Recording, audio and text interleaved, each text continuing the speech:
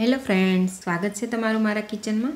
તો ફ્રેન્ડ્સ, શિયાળો શરૂ થાય એટલે આપણા બધાના ઘરમાં પાક તો બનતો જ હોય છે અને એમાં બધાના ઘરમાં બને તે પાક એટલે અડદિયા પાક. તો આજે આપણે અડદિયા પાક બનાવીશું. આ અડદિયા પાકમાં આપણે ખાંડનો ઉપયોગ નહીં કરીએ અને નાહી આપણે ગોળનો ઉપયોગ કરીશું. અને જો તમે પહેલી જ વાર ઘરે બનાવતા હોય તો એકદમ સરસ સ્વાદ ચોખ્ખો અને ઓછી કિંમતમાં ઘરે જ તૈયાર થઈ જશે. તો ચાલો અડદિયા પાક બનાવવાની શરૂઆત કરીએ. તો અડદિયા પાક બનાવવા માટે મેં અહીંયા પાંચસો ગ્રામ અડદનો કરકરો લોટ લીધો છે. આ લોટ કરિયાણા સ્ટોર પર આસાનીથી મળી જશે. ત્યારબાદ મેં સાથે જ પાંચસો ગ્રામ સાકર લીધેલી છે. તમે ખાંડ પણ લઈ શકો છો.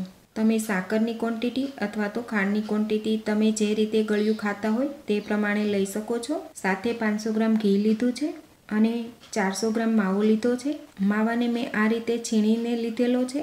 અત્યારે મેં માવો લીધેલો છે. તમે માવા વગર પણ આ અડદિયા પાક બનાવી શકો છો. તો અત્યારે મેં અડદિયા પાક બનાવવા માટે પરફેક્ટ માપ લીધેલું છે. તો સૌથી પહેલાં અહીંયા મેં પાંચસો ગ્રામ સાકર લીધી છે. તો સાકરને તમે દળીને પણ લઈ શકો છો. પણ હું તેને આખી જ લઈ રહી છું.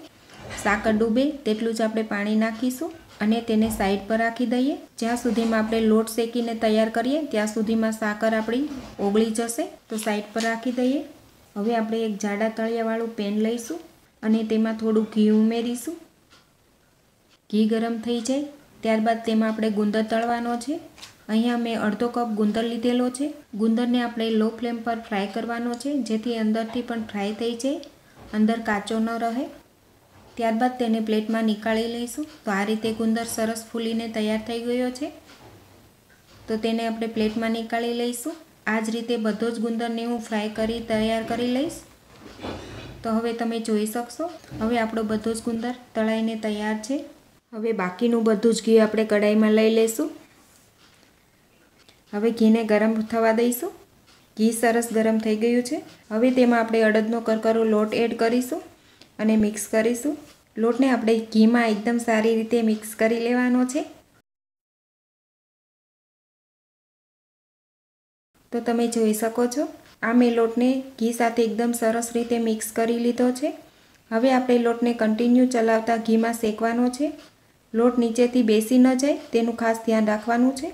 જો લોટ નીચેથી બેસી જશે, તો અડદિયાનો ટેસ્ટ છે, તે ખરાબ થઈ જશે.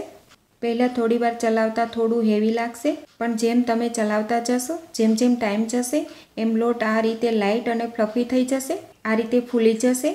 તો તમે આસાનીથી તેને ચલાવી શકો છો. તો બેથી ત્રણ મિનિટ થશે, ત્યાં જ તમારો લોટ આ ટેક્સચરમાં આવી જશે. હજુ આપણે શેકવાનો છે. તો હવે પાંચ મિનિટ પછી તમે જોઈ શકો છો, આપણો લોટ એકદમ સરસ લાઇટ ફ્લફી થઈ ગયો છે અને ઘી પણ થોડું થોડું છૂટું પડવા લાગ્યું છે. આપણે કન્ટિન્યુ હલાવતા રહેવાનું છે. અને હવે તમે સાત મિનિટ બાદ તમે જોઈ શકો છો. આપણું મિક્સર એકદમ લૂઝ ફોર્મમાં આવી ગયું છે. તેનો કલર એકદમ સરસ લાઇટ બ્રાઉન થવા લાગ્યો છે. તો હજુ આપણે વધુ ત્રણથી ચાર મિનિટ શેકવાનો છે. તો શેકી લઈએ. આ જ રીતે કન્ટિન્યુ હલાવતા. તો હવે તમે જોઈ શકશો, આપણે લોટ એકદમ સરસ શેકાઈ ગયો છે. ખૂબ જ સરસ અરોમાં આવી રહી છે. કલર પણ બ્રાઉન થઈ ગયો છે. હવે તેમાં આપણે છીણીને તૈયાર કરેલો માવો થોડો થોડો ઉમેરતા મિક્સ કરતા જઈશું. માવાને બરાબર લોટ સાથે શેકી લેવાનો છે.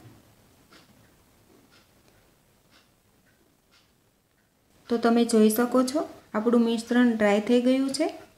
તો હવે આપણે વધારે ઘી નાખવાની જરૂર નથી. તો લોટ સાથે માવાને ત્રણ મિનિટ માટે શેકીને તૈયાર કરી લીધેલો છે.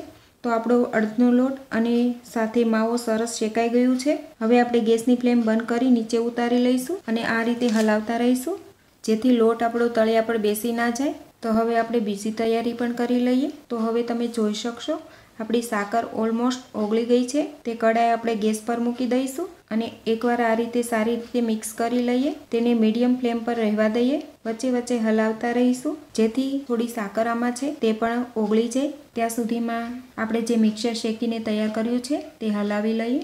તો આ એકવાર મેં સરસ હલાવી લીધેલું છે.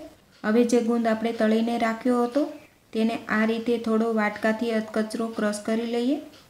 તમે આખું ગુંદર પણ લઈ શકો છો. પણ અડદિયા એકદમ સારી રીતે વળી શકાય. તેના માટે આપણે આ રીતે થોડો અધકચરો ક્રશ કરી લઈશું. હવે ગુંદર આ રીતે અધકચરો તૈયાર કરી લીધેલો છે.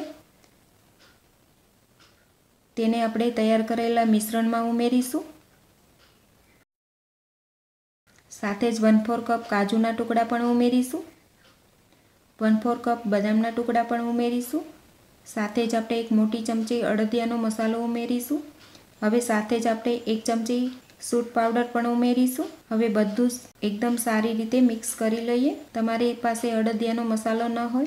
તમે એકલો સૂટ પાવડર પણ લઈ શકો છો. હવે બધું સારી રીતે મિક્સ કરી લઈએ. હવે આપણું આ મિશ્રણ તૈયાર છે. હવે આ તૈયાર છે. હવે ત્રણથી ચાર મિનિટ બાદ તમે જોઈ શકો છો, સાકર સરસ ઉગળી ગઈ છે અને બબલ્સ પણ આવી ગયા છે. હવે આપણે ચાસણી ચેક કરી લઈએ. તો આ રીતે અંગૂઠા અને આંગળી વચ્ચે તાર બનાવીશું.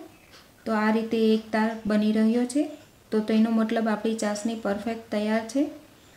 હવે આપણે ચાસણીને અડદિયા પાકના મિશ્રણમાં ઉમેરવાની છે. તો આપણે એકવાર મિશ્રણને હલાવી લઈએ, મિક્સ કરી લઈએ. ત્યારબાદ ચાસણી એડ કરીશું. અહીં આપણે પહેલાં થોડી એડ કરીશું, ત્યારબાદ મિક્સ કરી લઈશું.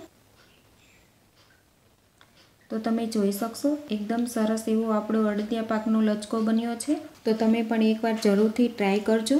હવે મિશ્રણને થોડું ઠંડુ થવા દઈએ. વધારે પણ ઠંડુ નથી કરવાનું. જસ્ટ તમે તેને હાથથી વાળી શકો. એટલું જ ઠંડુ કરવાનું છે.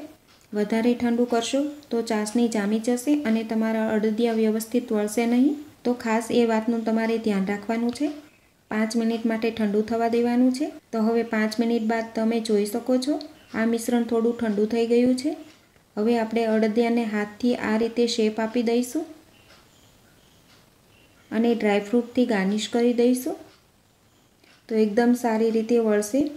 તમે જોઈ શકશો, તો એકદમ માર્કેટમાં મળે તેવા જ આપણા અડદિયા તૈયાર છે.